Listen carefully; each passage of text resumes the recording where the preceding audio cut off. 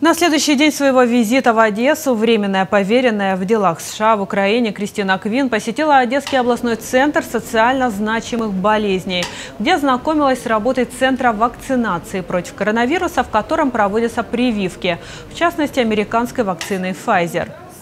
I was able to see the uh, site where they give vaccinations.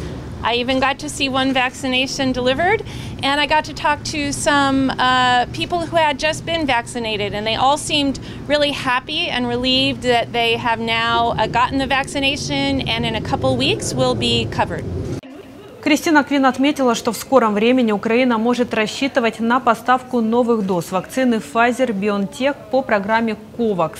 Представительница Дипкорпуса назвала себя ярым сторонником вакцинации и призвала всех одесситов прийти в Центр массовой вакцинации.